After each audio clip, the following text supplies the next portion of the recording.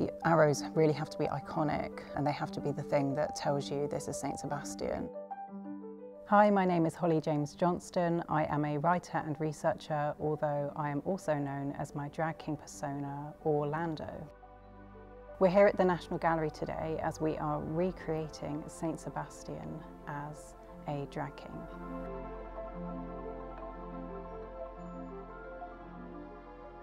So, Saint Sebastian was a Roman soldier who secretly converted to Christianity.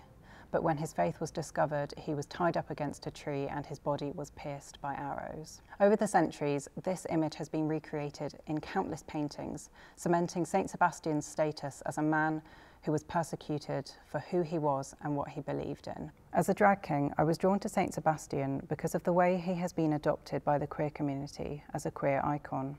This is in part due to St Sebastian's persecution and the abjected position that queer people have historically occupied within society.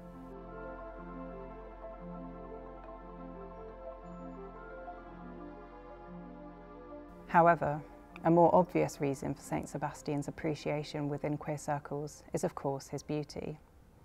In Cima's St Sebastian, as with many other representations of him, he is represented as a lithe, scantily clad, curly-haired youth who is almost always pretty.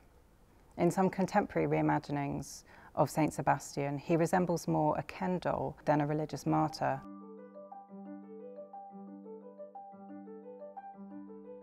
I think in terms of recreating St. Sebastian as a drag king, I was drawn to Cima's St. Sebastian specifically because there is a nod to androgyny or even femininity, which I hadn't seen in other St. Sebastians. As a drag king, um, I'm drawn to masculinity that has an edge of femininity because as someone who is assigned female at birth, I can relate to that more. So Cima's Saint Sebastian, he's got very lovely curly long hair, he's got rosy lips, and he's also got big blue eyes and very neat eyebrows. The challenge I found um, with this project has been the fact that Sebastian doesn't wear anything. So the arrows really have to be iconic um, and they have to be the thing that tells you this is Saint Sebastian. So I made the arrows from dowelling um, I used cardboard for the feathers and for the wound at the base I used rhinestones because I wanted something camp and a bit, something that would emphasise the performativity of the image.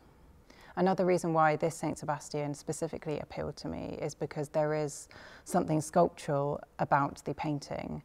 It's a painting of a Saint Sebastian that's mimicking a sculpture.